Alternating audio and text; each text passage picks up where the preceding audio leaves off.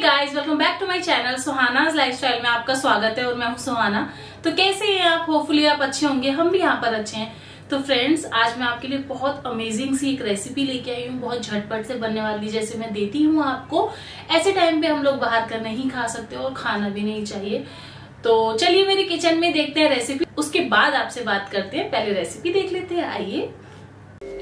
तो खाना चाहेंगे यमी से फ्राइड राइस तो आइए मेरे किचन में देखते हैं इसकी रेसिपी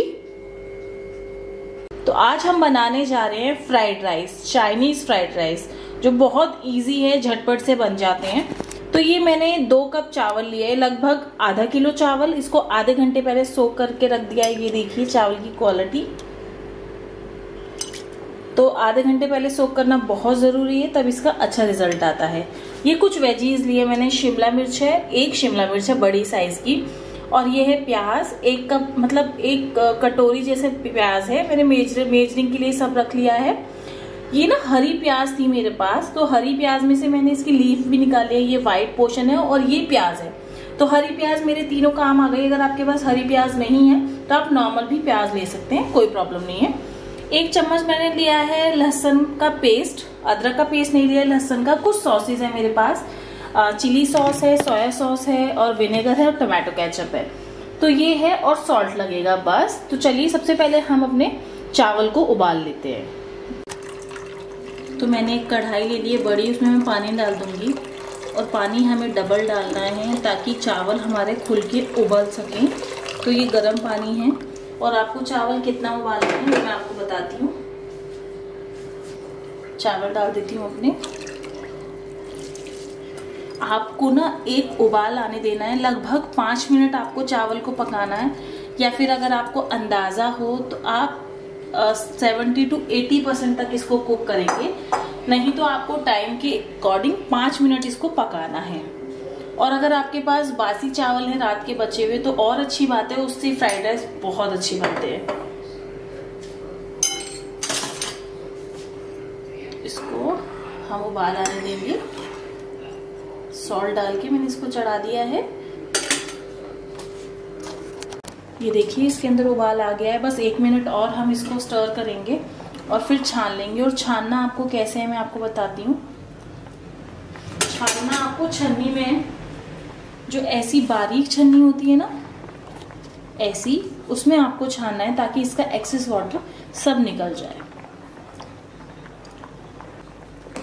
बस ये देखिए स्टेज पे आपको छान लेना है। बस इससे ज़्यादा आपको कुक नहीं करना है, क्योंकि ये ओवर कुक हो जाएगा, वो बिल्कुल भी अच्छा नहीं लगेगा बनने में और खाने में। हमारा चावल टूटना नहीं चाहिए, अभी हम इसको छान लेते हैं।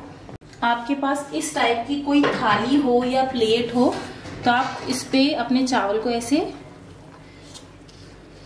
फैलाना है, ताकि ये बिल्कुल जल्दी से ठंडे हो जाएँ। इसकी, इसमें पानी आपको रिंस नहीं करना है।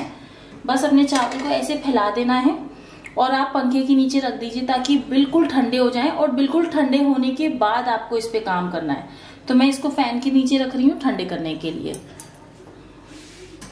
और ये देखिए आप कितना अच्छा चावल एक एक बिल्कुल ग्रेन हो गया है और ये ओवर कुक बिल्कुल भी नहीं है तो आपको इसी स्टेप पे करना है। चलिए इसको ठंडा होने रख देते हैं। ये देखिए, ये बिल्कुल ठंडे हो चुके हैं, बिल्कुल ठंडे जिसे कहते हैं, बिल्कुल ठंडे ही आपको करने ताकि थोड़े हार्ड हो जाए। और जब हम बनाएँ तो हमारे चावल टूटे नहीं। तो चलिए, जल्दी से फाइनल हम प्रिपरेशन कर लेते हैं और झटपट से अपने चाइनीज़ चावल बनाते हैं। चाइनीज़ फ्राइड राइस तो मैंने सेम कढ़ाई को वॉश करके रख दिया है। इसमें ऐसा कुछ नहीं है, आप किसी में भी बना सकते हैं नॉन स्टिक में भी और वैसे भी बना सकते हैं। तो इसको थोड़ा सा हम गर्म करेंगे।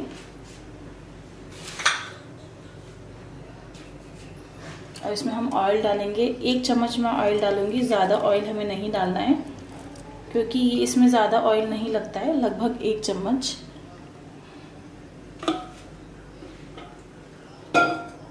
अच्छे से गर्म होने देंगे। देख रहे हैं आप, मैंने ऑयल कितना कम डाला है। अच्छे से इसको गर्म कर लेंगे।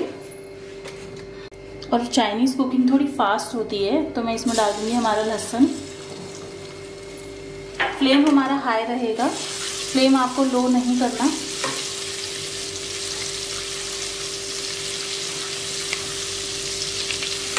अच्छे से भूनेंगे। रॉ स्मेल चले जानी चाहिए बस इसकी। और वेजीज ना आप अपने अकॉर्डिंग और भी डाल सकते हैं। कैरेट हो गया और कॉर्न हो गए। तो वेजीज आप इसमें और भी बढ़ा सकते हैं। ये देखिए, हमारे लहसुन हो गया है, हम डाल देंगे अनियन चला लेंगे। फ्लेम मेरा फास्ट है, ये देखिए स्लो नहीं करना आपको। क्योंकि इसमें थोड़ा सा क्रंच रहना चाहिए।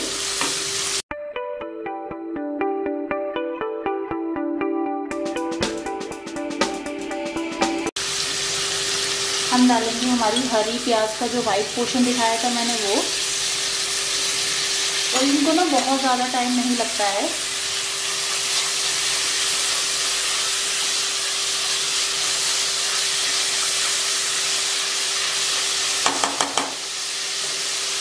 हम डालेंगे शिमला मिर्च।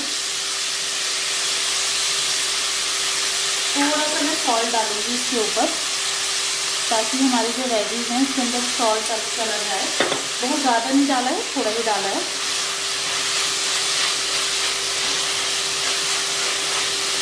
अच्छे से हम इसको अगर आपको बहुत ज़्यादा क्रंच पसंद है ना तो आप बहुत ज़्यादा क्रंच भी कर सकते हैं, लेकिन मुझे थोड़ा सा कम पसंद है, इसलिए मैं कम बनाऊँगी। ये देखिए। छोटे छोटे थे ना तो ये बहुत जल्दी हो गए अब आपको क्या करना है? इसमें डालने हैं चावल। आपको अपनी सब्जियों की वेजी के ऊपर ही चावल डालने हैं। सॉसेज इसमें अभी नहीं मिलानी है। पहले हम अपने राइस डाल देंगे।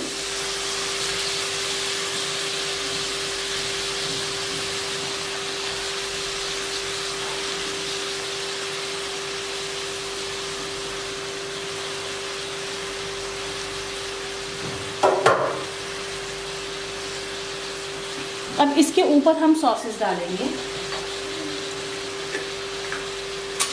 चिली सॉस डालेंगे हम। आप कितनी मतलब कितना आप तीखा पसंद करते हैं, उसके अकॉर्डिंगली आप चिली सॉस डालेंगे। देखिए। एक चम्मच लगभग मैं सोया सॉस डालूँगी। विनेगर भी आप अपने अकॉर्डिंगली डालिएगा कि कितना आप खट्टा पसंद करते हैं। तो मैं हाफ़ डालूँगी बस। और अगर आपको थोड़ा सा स्वीटनेस में चाहिए तो आप इसके अंदर सॉस भी मिला सकते हैं। अब हम इसको एक अच्छा सा स्टर देंगे।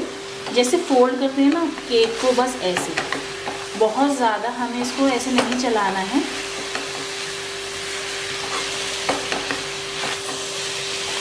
देखिए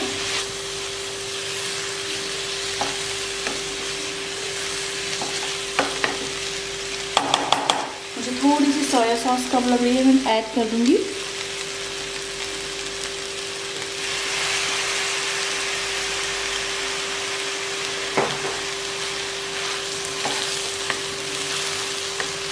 और कर देंगे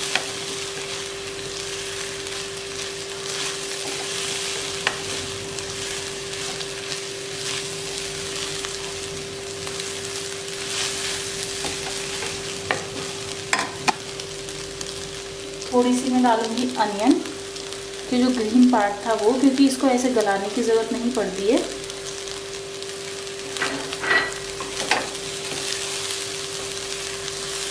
देखिए।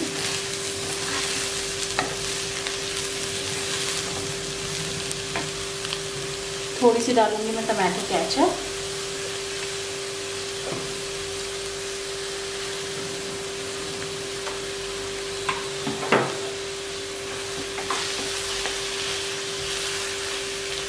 अच्छे से मिक्स करेंगे और आप इसको ना टेस्ट करके भी देख सकते हैं कि अगर आपको कम लगेगा सॉल्ट तो आप सॉल्ट भी इस स्टेज पे ऐड कर सकते हैं।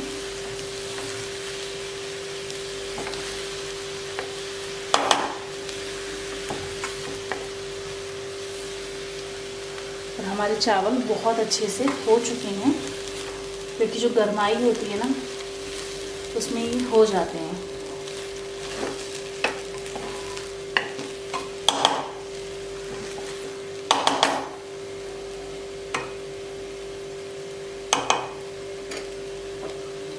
थोड़ा सा मैं सॉल्ट ऐड कर दूँगी।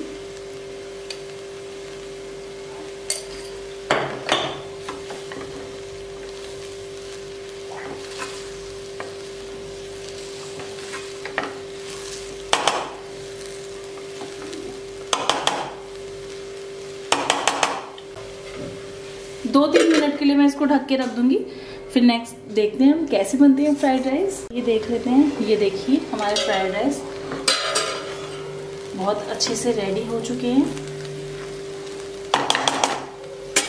तो चलिए इसको आप सर्व कर लेते हैं हमारी यमी से फ्राइड राइस को।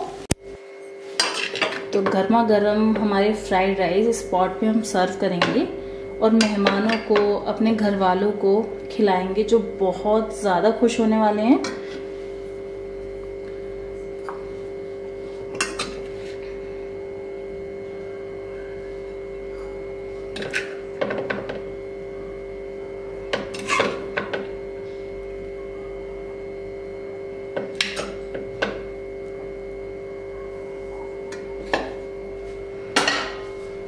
थोड़ा सा हम गार्निश करेंगे।